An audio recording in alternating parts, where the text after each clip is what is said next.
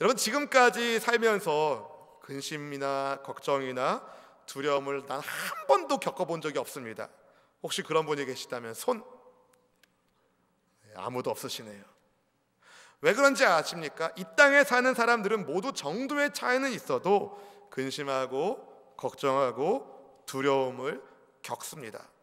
왜냐하면 불확실한 세상에 살고 있기 때문에 그래요. 우리가 살고 있는 세상이 확실하지 않은 세상이기 때문에 그렇습니다. 어제가 제 딸아이 생일이었는데 생일 잔치를 하려고 뭘 먹으려고 했는데 우리 아이가 지금 감기 몸살이 심해서 그냥 집에서 때웠어요. 우리 딸아이가 조금 아쉬워하는 것 같더라고요. 그러니까 본인의 계획은 자기 생일날에 엄마 아빠랑 같이 뭐 맛있는 거 먹을 생각했는데 몸이 안 되는 거죠. 병 들어서. 지금은 좀 좋아진 것 같은데요. 이건 아주 일면에 불과해요, 여러분. 내일 일을 확신할 수 없는 세상이 우리가 사는 세상이에요. 왜 걱정하고 근심하고 두려워합니까? 불확실하기 때문에 걱정하고 근심하고 두려워하는 거예요. 또 내가 확신하는 것이 진짜인지 가짜인지 혼동될 수도 있습니다. 오늘 본문에 등장하는 사도 바울은요. 예수님 만나기 전에 정말 열심히 신앙생활한 유대 청년이었어요. 유대교의 신념에 따라서 하나님이 기뻐하실 것이라고 믿는 일을 열심히 했습니다. 근데 그 열심이 무슨 열심이었어요? 잘못된 열심이었어요. 예수님 믿는 사람을 잡아가두는 예수님 믿는 사람을 핍박하는 잘못된 열심을 가지고 살았다고 잘못된 확신을 가지고 살았던 것이에요. 그러던 그가 다메섹에 그리스도인이 있다는 소식을 듣고 다메섹에 가고 있었어요. 교회를 핍박하기 위해서. 그러다가 부활의 예수님을 극적으로 만나게 됩니다. 그때 바울이 주님께 물어요. 주여 누구십니까? 묻는 바울에게 부활의 예수님이 이렇게 말씀하십니다. 사도행전 9장 5절 말씀 같이 읽어보겠습니다. 대답하되 주여 누구십니까? 이르시되 나는 네가 박해하는 예수라. 아멘. 여러분 이 말씀은요. 그동안 바울이 무지 속에서 살아왔다는 것을 보여주는 거예요. 똑똑한 지식과 엄격한 율법 준수를 자랑하는 사람이었지만 바울은 누군지도 모르는 분을 박해하며 살아왔던 것입니다. 막상 예수님을 만나고 나서야 자기가 잘못된 인생을 살아왔다는 것을 깨닫게 됩니다. 부활의 예수님을 만난 뒤에서야 비로소 자기 자신의 삶을 온전히 살기 시작됐다는 것입니다. 저는 여러분 모두도 예수님 믿는 믿음 안에서 예수님을 확실히 만나는 은혜 안에서 여러분 자신을 발견하고 주 안에서 기쁨의 삶을 누리시기를 주님의 이름으로 축원합니다. 바울은요 부활의 예수님을 만난 뒤에 가짜 확신이 아니라 잘못된 열심이 아니라 진짜 확신, 바른 열심을 가지고 사는 예수님의 사람이 되었어요. 예수님이 그리스도이신 것을 밝히 증거하면서 명명백백하게 왜냐하면 자기가 확실하게 만났으니까 부활의 예수님을 복음을 열심히 전했습니다. 그것 때문에 정말 많은 어려움을 겪기도 했어요. 확신 있게 베레아에서 복음을 증거하던 바울이 급하게 아덴으로 피했습니다. 데살로니가에서 불량배를 동원해서 바울을 해치려 했던 유대인들이 베레아까지 따라온 거예요. 형제들의 도움을 받아서 아덴으로 피한 바울이 자기를 인도해 준 사람들에게 부탁합니다. 신라와 디모데를 내가 있는 곳으로 빨리 보내 주십시오. 아덴에서 믿음의 동역자들이 기다리던 바울이 그런데 고린도로 떠났어요. 왜요? 더 이상 아덴에 있고 싶지 않았던 것입니다. 우상 가득한 도시에서 복음의 깃발을 높이 들었는데 사람들의 반응이 신통치 않았습니다. 자기를 변화시킨 예수님의 십자가 죽음과 부활을 열심히 전했는데 아덴 사람들이 부활의 복음을 조롱하는 거예요. 무슨 부활이야? 마치 자기가 사도 바울이 예전에 그렇게 생각했던 것처럼. 바울은 아닙니다, 여러분. 예수님은 진실로 십자가에서 죽으셨지만 다시 살아나신 그리스도 메시아이십니다. 성경이 약속한 그 메시아가 바로 예수님이십니다. 자기를 변화시킨 예수님의 복음을 부활의 예수님을 진정성 있게 정, 증거했는데 복음을 받아들이지 않는 이들로 인해서 바울의 마음이 상해졌어요.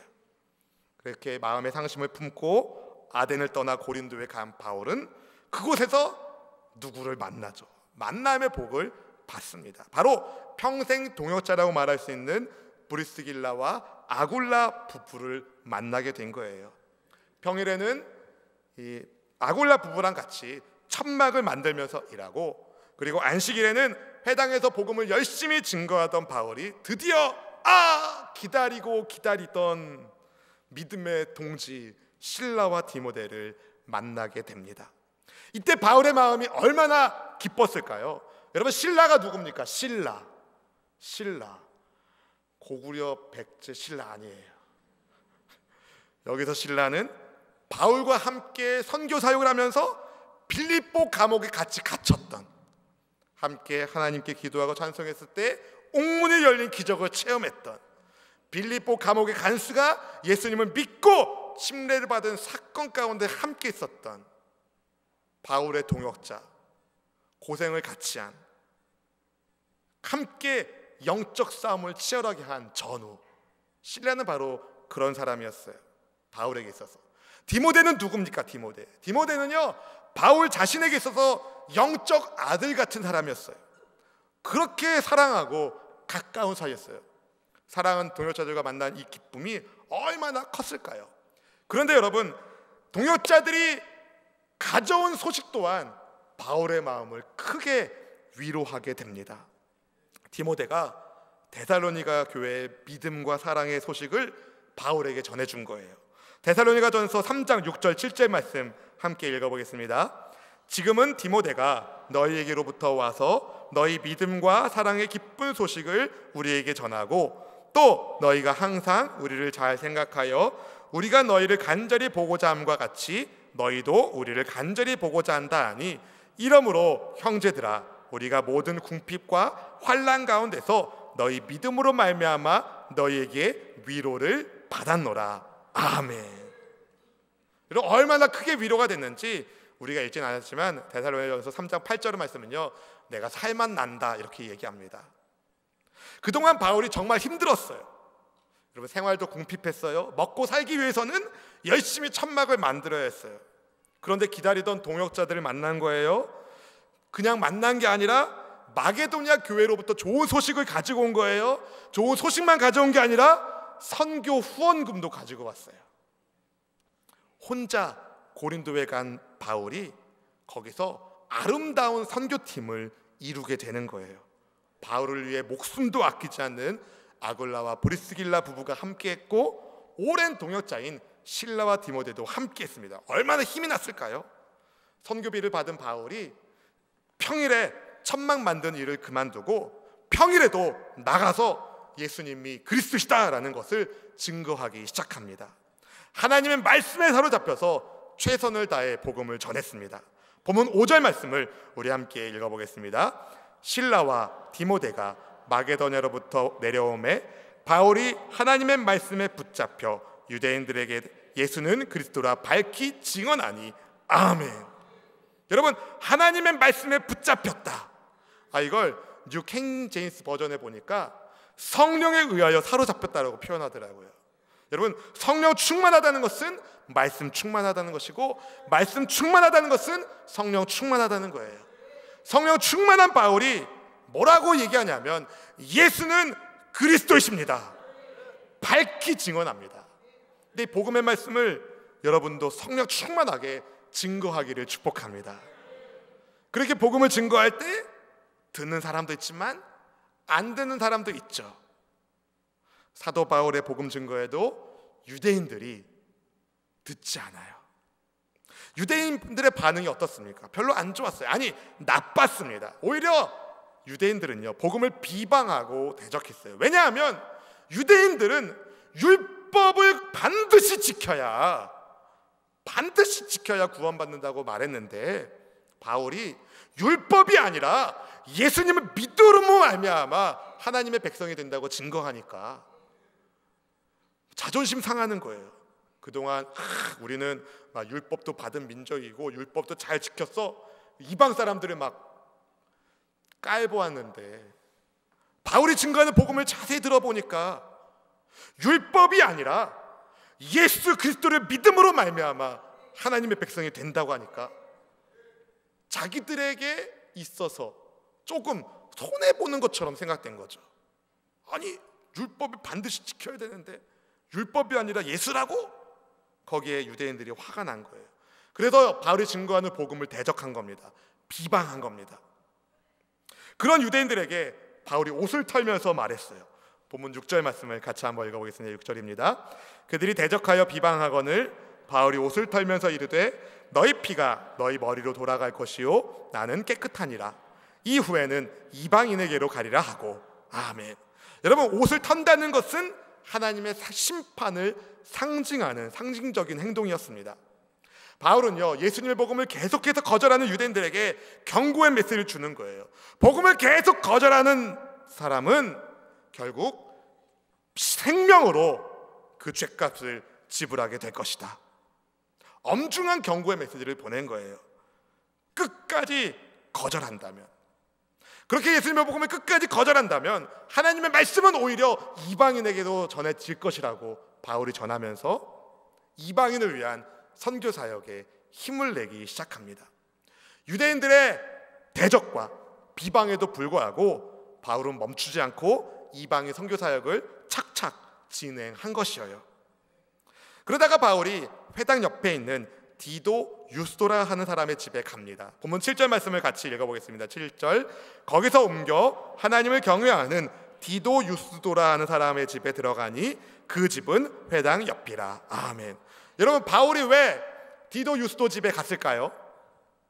밥 먹으려고 파티가 있어서 이 디도 유스도라는 사람이 예수님의 복음을 듣고 자기 집을 교회 예배당으로 헌신한 거예요. 함께 모여서 예배를 드리는 거죠.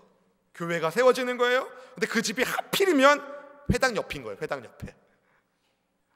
회당 옆에 교회가 세워진 거죠. 유대인들이 기분 나빴을까요? 좋았을까요? 기분 좋았을까요? 유대인들이? 기분 나쁘죠. 복음을 비방하고 정말 조롱하는 사람들인데 복음 중심의 교회가 회당 옆에 세워졌는데 설상가상 회당장이 예수님을 믿어버린 거예요. 회당장 그리스보가 온 지방과 더불어 예수님을 믿게 된 거예요. 회당의 주축이 되는 유대인들이 바울을 반대하고 복음을 방해하는데 회당장이 예수님을 믿고 그 가족이 회심한 거예요. 놀라운 일이 일어나기 시작합니다. 거기다가 수많은 고린도 사람들이 예수님의 복음을 듣고 믿게 되고 침례를 받는 역사가 일어납니다. 본문 8절 말씀을 함께 읽어봅니다. 또 회당장 그리스도보가 온 집안과 더불어 주를 믿으며 수많은 고린도 사람도 듣고 믿어 침례를 받더라. 아멘. 여러분 상황이 이렇게 되니까 복음을 반대하는 유대인들이 더 극렬하게 바울을 대적했겠죠. 이상한 소문을 만들어냈겠죠. 바울을 증오하는 유대인들 때문에 바울에게도 불현듯 두려움이 찾아왔어요. 어쩌면 바울은요, 계속된 유대인들의 반대로 마음이 위축되어 조만간 고린도를 뜰 생각을 했을지도 모릅니다. 아, 여기서도 오래 사역하지 못하겠네. 조용히 떠나야겠다. 그렇게 마음 먹었을 법한 바울에게 그런데 주님께서 환상 중에 바울에게 말씀을 주시는 거예요. 본문 9절 말씀을 같이 읽어봅니다. 밤에 주께서 환상 가운데 바울에게 말씀하시되 두려워하지 말며 침묵하지 말고 말하라. 아멘. 이 말씀을 보면은요. 바울이 지금 두려워하고 있고 침묵하고 싶고 떠나고 싶어 한다는 사실을 발견하게 돼요.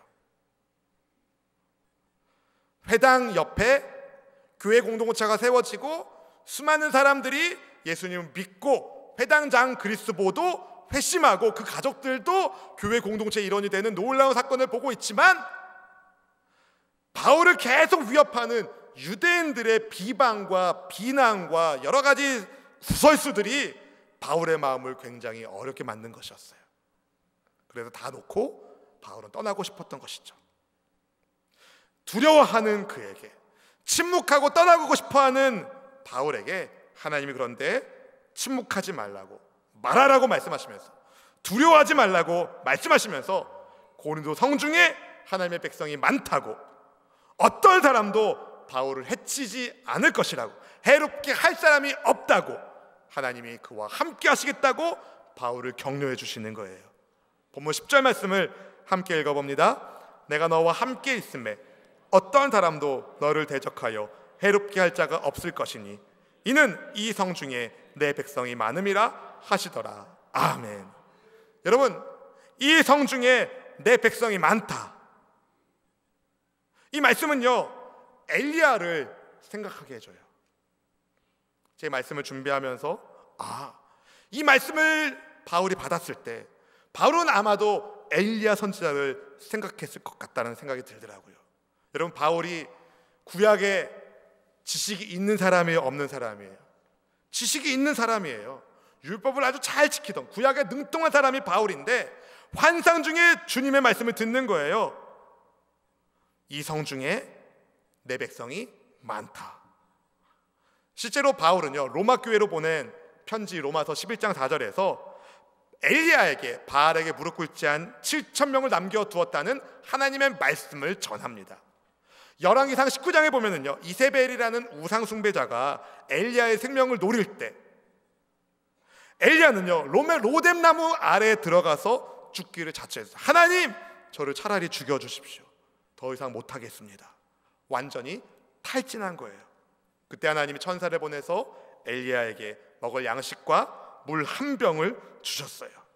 물도 먹고 음식도 먹고 하나님이 주신 음식과 물을 마시고 하나님의 산 호렙에 갔을 때 엘리야가 세미한 주님의 음성을 듣게 됩니다.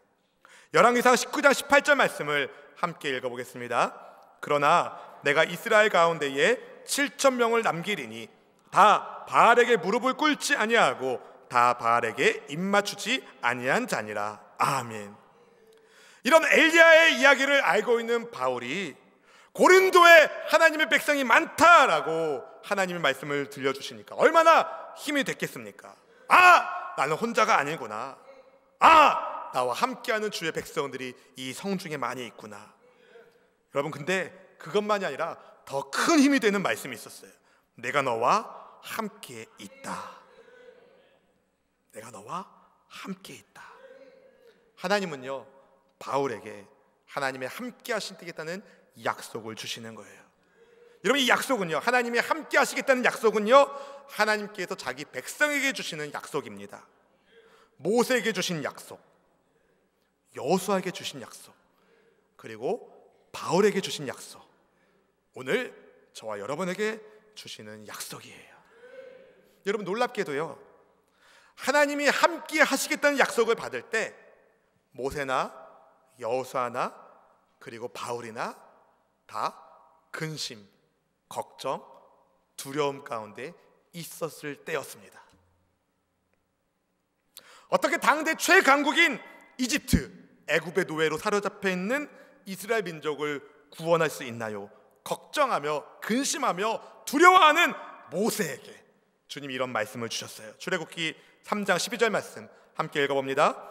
하나님이 이르시되 내가 반드시 너와 함께 있으리니 내가 그 백성을 애굽에서 인도하여 낸 후에 너희가 이 산에서 하나님을 섬기리니 이것이 내가 너를 보낸 증거니라. 아멘. 하나님 뭐라고 모세에게 말씀하십니까? 내가 반드시 너와 함께 있으리라. 반드시 함께 있으리라. 하나님께 쓰임 받은 위대한 영적 지도자 모세가 떠난 이후에 이스라엘을 인도에 대한 막중한 부담감을 가지고 있었던 여호수아에게 주님이 다음과 같은 말씀을 주십니다. 여호수아 1장 5절 말씀 함께 읽어봅니다. 네 평생에 너를 등이 대적할 자가 없으리니 내가 모세와 함께 있었던 것 같이 너와 함께 있을 것임이니라. 내가 너를 떠나지 아니하며 버리지 아니하리니 아멘. 여러분 바울이 구약의 능통한 사람이라고 말씀드렸어요. 주께서 너와 함께 하시겠다. 이 말씀을 바울이 들었을 때 바로는 아! 이 말씀은 모세에게 그리고 여호수아에게 주신 말씀이구나. 모세에게 그 말씀을 주신 하나님께서 어떻게 위대한 일을 행하셨는지 알고 있고 여호수아에게 그 말씀을 주신 하나님께서 여호수아를 통해서 어떻게 위대한 일을 행하셨는지 알았던 바울은 하나님의 말씀을 붙잡고 생각했을 것입니다. 주님께서 나와 함께 하시겠다는 약속의 말씀을 주셨으니 능히 내가 이 선한 싸움을 감당하리라. 복음의 말씀을 증거하리라. 바울은 주께서 주신 이 약속의 말씀을 꽉 잡았어요. 그리고 더 많은 복음의 열매가 맺힐 것을 바라보고 담대하게 복음을 전했습니다. 그렇게 1년 6개월 동안 고린도에 머물면서 그는 주의 말씀을 전합니다. 본문 11절 말씀 같이 읽어봅니다. 11절 1년 6개월을 머물며 그들 가운데서 하나님의 말씀을 가르치니라. 아멘. 사랑하는 성도 여러분. 고린도는요. 음란과 타락의 끝 판왕 같은 도시라고 말씀드렸어요. 정말 열매 맺기 어려운 도시가 고린도입니다. 복음이 열매 맺기 어려운 도시가 고린도였어요. 그런데 하나님께서는 바울을 통해 고린도에 교회를 세우셔요. 회당장이 회심하고 하나님의 살아있음이 교회를 통해서 세워지고 있을 때 그때 고린도 교회도 위기가 있었던 거예요. 바울이 지금 갈팡질팡하는 위기가 있었던 거예요. 만약에 바울이 유대인들의 비방과 위협이 두려워서 떠났다면 어쩌면 고린도 교회는 더 크게 부흥하지 못했을 것입니다. 오히려 유대인들에 의하여 문을 닫았을지도 모릅니다. 그런데 바울은요, 주께서 나와 함께 하시겠다는 약속의 말씀을 붙잡고 이 성 중에도 하나님의 백성이 많다는 소망을 품고 복음을 전한 거예요. 그렇게 해서 고린도라는 타락한 도시에 예루살렘과 안디옥 다음 가는 세 번째 선교의 전초 기지가 되는 고린도 교회가 세워지는 거예요. 하나님께서 함께 하시겠다는 약속을 잡았기 때문에 훗날 바울은요 이런 경험을 로마 교회에 보낸 편지 속에서 이렇게 고백하는데요 로마서 8장 31절 말씀을 함께 읽어봅니다 그런즉 이 일에 대하여 우리가 무슨 말 하리요 만일 하나님이 우리를 위하시면 누가 우리를 대적하리요 아멘 사랑하는 성도 여러분 만일 하나님이 우리를 위하신다면 누가 우리를 대적하겠습니까? 문제는 뭐냐면요. 내가 하나님께 붙잡혀 있느냐, 내가 하나님을 의지하고 있느냐 있습니다. 사랑하는 성도 여러분, 누구와 함께 하시길 원합니까? 하나님과 함께 하십시오. 그리고 하나님의 약속을 붙잡으십시오. 성자 하나님이신 예수님께서 이 땅에 오실 때에 예수님 우리와 함께 하시는 하나님으로 이 땅에 오셨어요. 마태복음 1장 23절 말씀을 이렇게 이야기합니다. 함께 읽어봅니다. 보라 처녀가 잉태하여 아들을 낳을 것이요 그의 이름은 임마누엘이라 하리라 하셨으니 이를 번역한즉 하나님이 우리와 함께 계시다 함이라. 아멘. 여러분 예수님께서 이 땅에 오신 이후로 성도에게 두려움은 없는 거예요. 예수님이 우리와 함께 하시니까. 예수님은 임마누엘 우리와 함께 하시는 하나님이십니다. 우리의 죄를 위하여 십자가 위에서 죽으시고 사망 권세를 깨뜨리시고 부활하시고 하늘에 올리우신 성자 예수님께서 성령과 함께 우리와 함께하고 계시는데 지금도 나와 우리와 여러분과 함께하고 계십니다. 말씀을 통해서 기도를 통해서 복음 증거를 통해서 성령 충만하게 우리와 동행하고 계시다는 겁니다. 혹시 우리 가운데 걱정, 근심, 두려움, 염려 때문에 마음이 졸이는 분이 계시다면 사망 권세를 이기시고 부활하신 예수님이 나의 예수님이신 것을 믿음으로 고백하십시오. 여러분의 삶의 기반이 임마누엘 나와 함께 하시는 하나님 되기를 주님의 이름으로 축원합니다. 하나님이 여러분과 함께 하시겠다는 이 약속의 말씀을 분명히 잡으면 여러분의 인생은 바뀔 거예요. 어떻게 바뀌겠습니까? 용기 있는 그리스도인이 될 거예요. 예수님이 그리스도시다는 사실을 밝히 증거하는 증인이 될 것입니다. 무엇보다 이 불확실한 세상 속에서 이 불확실한 현실 속에서 불확실한 미래를 앞에 두고 확실하신 예수님 붙들고 살게 될 것입니다. 사랑하는 성도 여러분, 부디 임마누엘 하나님 나와 함께 하시는 하나님 이 약속의 말씀을 반드시 붙잡고 이 약속이 곧 예수님을 믿는 여러분을 위한 하나님의 약속인 것을 믿고 그 믿음으로 승리하길 주님의 이름으로 축원합니다. 주님의 이름으로 축원합니다. 아무것도 두려워 말라.